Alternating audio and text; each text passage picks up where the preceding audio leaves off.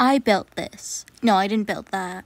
I built this wonderful brick house. My dad built everything. So thank you everyone so much for watching today and we'll be going through this house I built in Minecraft a while ago.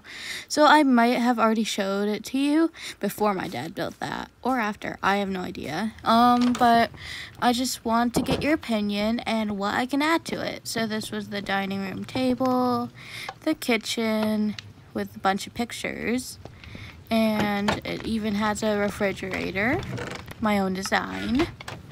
And then over here, another sink, and then a workspace.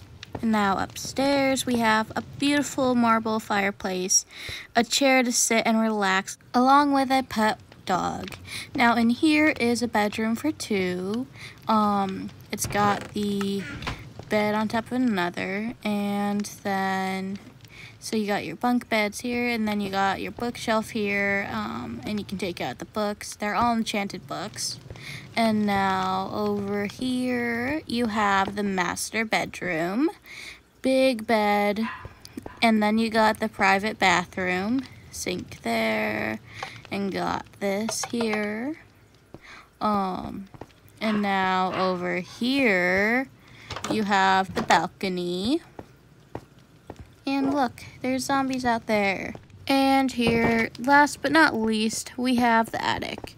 So, um, if anyone has any recommendations what I could put here, maybe a bedroom, um, it'd be great to hear. So thanks for watching.